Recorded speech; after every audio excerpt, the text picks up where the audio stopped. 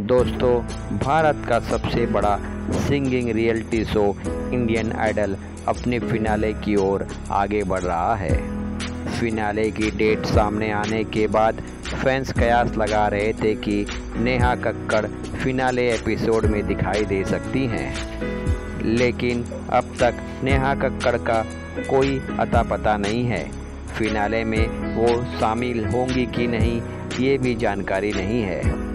दोस्तों, आपको बता दें कि इंडिया की most popular singer Neha Kakkar बीते कई सालों से singing reality show Indian Idol को जज कर रही हैं। इंडियन आइडल 12 में भी नेहा ने जज की खुशी संभाली। हालाँकि इंडियन आइडल बीच में ही छोड़कर गायब हो गई। नेहा की जगह अब शो में उनकी बहन सोनू कक्कड़ जज बनकर प्रतियोगियों की हौसला अफजाई कर रही हैं। दोस्तों, नेहा कक्कड़ की अभी अभी शादी हुई है।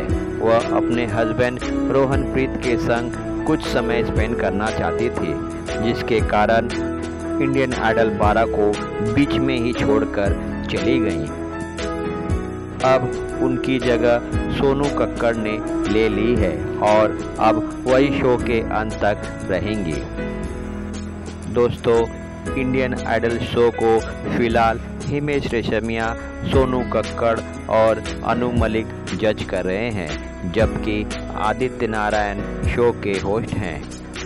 शो में हर हफ़्ते बॉलीवुड की दिग्गज हस्तियाँ गेस्ट के तौर पर आ रही हैं और प्रतियोगियों की हौसला अफजाई कर रही हैं।